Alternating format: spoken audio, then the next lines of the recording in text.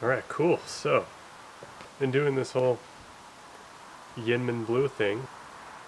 You could start with yttrium oxide, indium oxide, manganese oxide, all in the plus three state.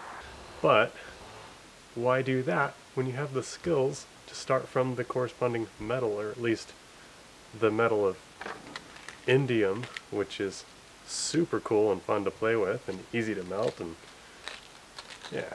Before we make the indium 3 oxide, or just indium oxide, um, got to get out here in the old backyard foundry and uh, mess around with it a bit.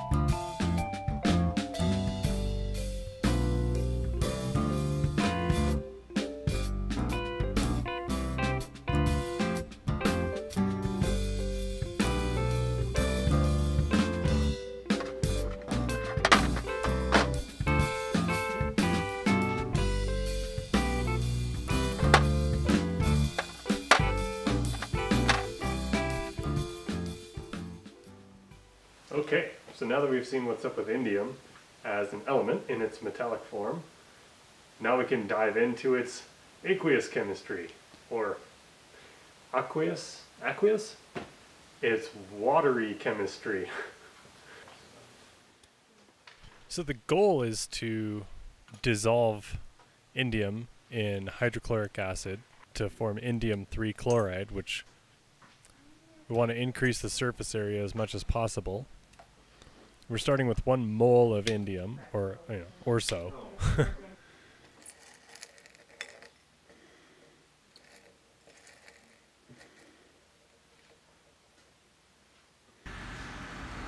I got indium all over my fingers. Ah!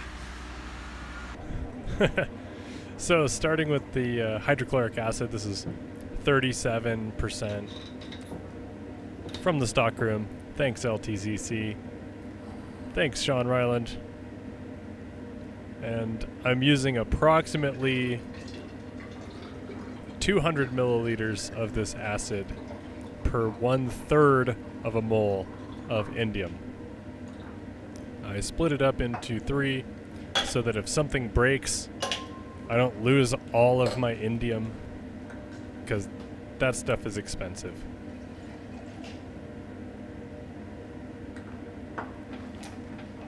So now I've got it all going. I'm heating it and stirring it.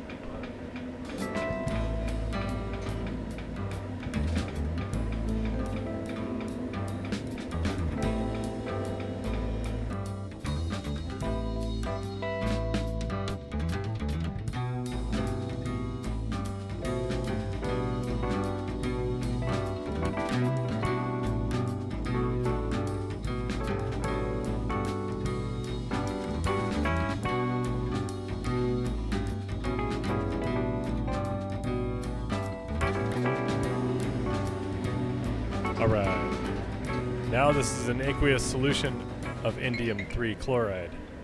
I'm filtering it. I guess there was a little bit of particulate matter left over. But it was pretty much it was pretty much totally clean. Oh look, there's this crystal structure of ultramarine on the uh, television screen in the background. Dissolving sodium hydroxide here adding the sodium hydroxide to the indium chloride solution. And this precipitates indium 3 hydroxide. I keep saying 3, but indium is a member of what we affectionately call the stupid triangle of elements which only exhibit one oxidation state other than 0. In this case, indium is 3 or nothing. Oh, that's thick and creamy. So there's my indium hydroxide. We're showing you again because I think it's cool. It's sitting there, settling down. Got our warnings.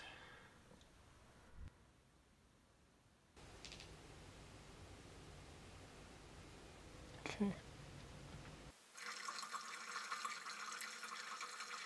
Basically, I just decanted added distilled water and decanted again and again until I felt confident that the water contained only negligible amounts of sodium hydroxide. And now, filtration. Doing the normal stuff, you know. I've got the got the vacuum trap there.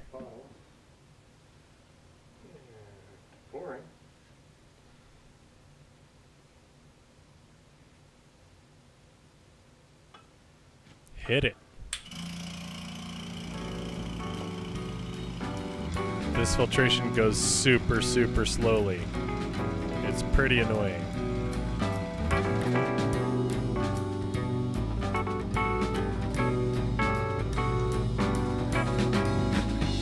This stuff is like extremely white. It was very hard to get the lighting right on the camera.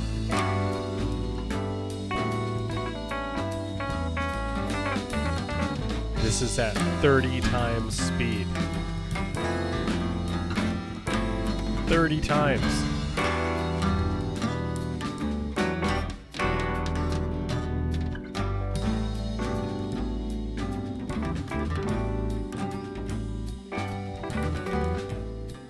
And I took it home with me because campus is closed on the weekends.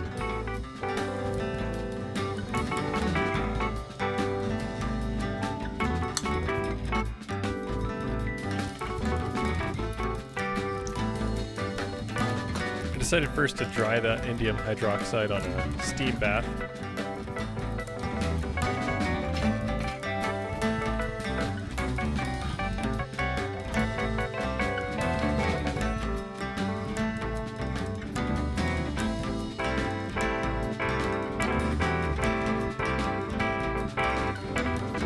But once I uh, had this dried out, the next step is to heat this at a pretty high temperature in the several hundred Celsius area, which dehydrates indium 3 hydroxide to indium 3 oxide.